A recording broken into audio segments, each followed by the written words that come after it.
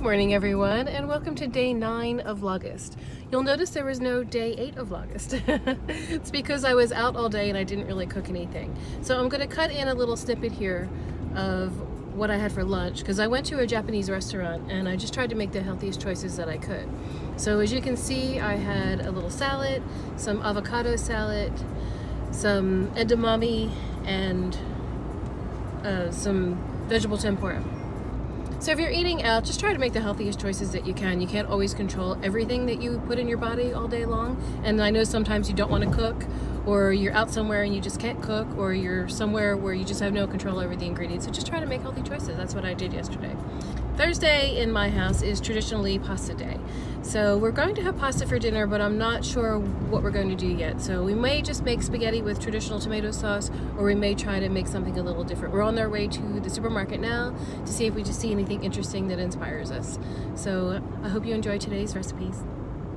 I'm not sure what form dinner is going to take yet, but we needed some crushed tomatoes, and some tomato paste and I like this brand called Cento it's a local brand but I think you can get them everywhere bought some mushrooms got needs to replenish our garlic supply bought a new fennel bowl got some bananas and I picked up this Nonni's peaches and cream biscotti because I figured once in a while in the evening I just need a little cookie and it saves me from wanting to have a big dessert.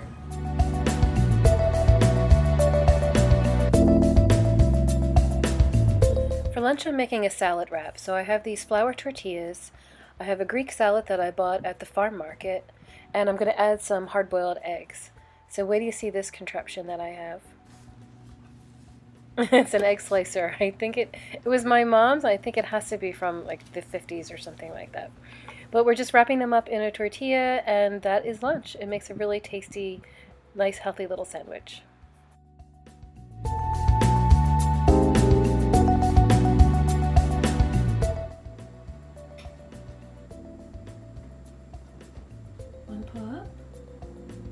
The other paw up.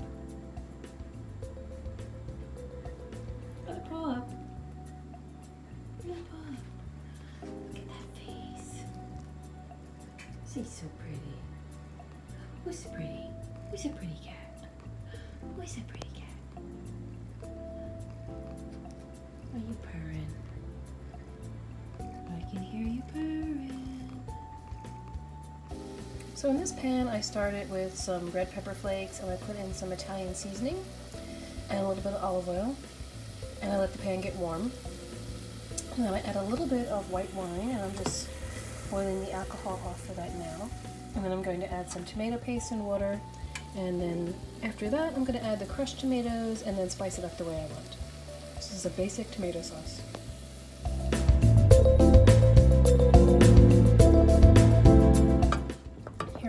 Down the paste with a little bit of water. Gives it a nice thick base.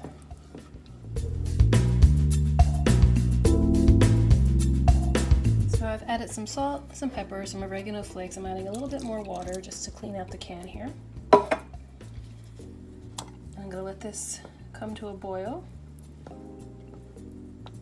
And then I'm just going to put it on a very low heat and then leave it until dinner time, which is not for another two or three hours, depending on what time we eat, probably three hours.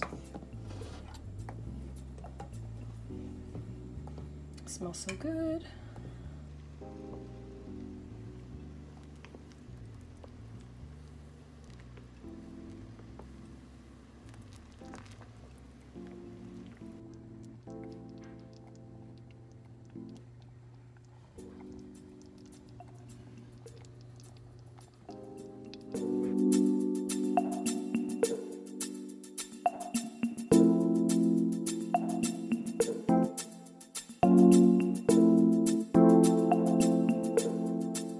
Well, that's it for today, folks. I hope you enjoyed today's recipes.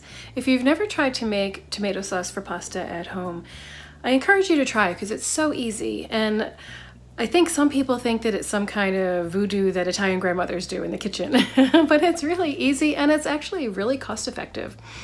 And I don't make it the same way every time, but you can see how easy it is when you watch this video. Like today I made it with some white wine and I didn't put any garlic in, but sometimes I put a lot of garlic in, sometimes I use red wine, sometimes I put some onion in. I make it different every time. So you just learn to make a basic sauce and you can jazz it up however you like. so I hope you join me tomorrow. I'm gonna go watch the Eagles first preseason game. Fly Eagles fly. Don't forget to subscribe and hit the notification bell if you want to know exactly when my videos go live. See you tomorrow. Bye.